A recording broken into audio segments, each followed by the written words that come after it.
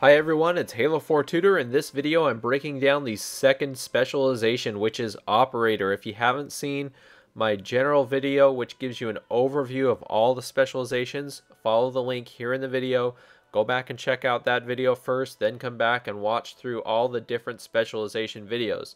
So let's dive right into Operator here. Um, operator is one of the two specializations which is uh, initially available when you hit rank 50. Okay, so you're really only going to have two choices when it first uh, when you first hit 50. You're going to be able to choose either Wetwork or operator. Um, if you haven't seen the Wetwork video, go check that one out. Here's a link in this video.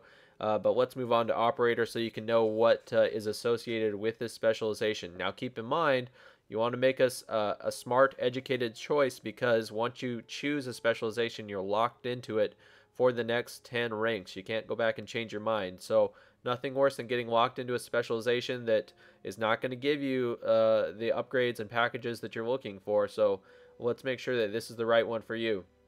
Um, number one, you're going to get a few foreground emblems. You'll get, uh, as you can see on the screen here, a new chest piece, shoulder piece, and helmet piece. You'll also get a new visor as well as a skin for your chest, shoulders, and helmet. Okay, so some really cool new appearance items. I think it looks really snazzy. Uh, this is actually the one that I went with uh, for my first specialization. Um, you'll also get a new background emblem as well as a magnum skin. Okay, so you'll get new skins for your armor as well as for the magnum pistol.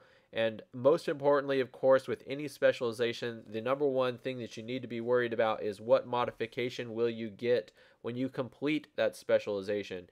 And in this case, you're going to unlock the Wheelman tactical package, okay? And this one's interesting because Wheelman increases the long-term durability of the vehicles which you drive uh, by recharging health more quickly as well as uh, reducing the amount of time that uh, you are frozen from EMP blasts. Okay, so um, I'm going to give this tactical package a B plus.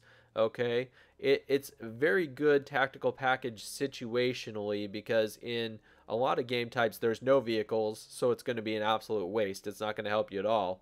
But in a big team game, which is very popular, I know a lot of you play a lot of big team. Um, if you're going to be driving vehicles, this can be very helpful actually by basically, you know, giving that vehicle additional armor, making it more difficult to take down by making it resistant to EMP blasts. It'll still get stuck, but only briefly when you have the Wheelman package.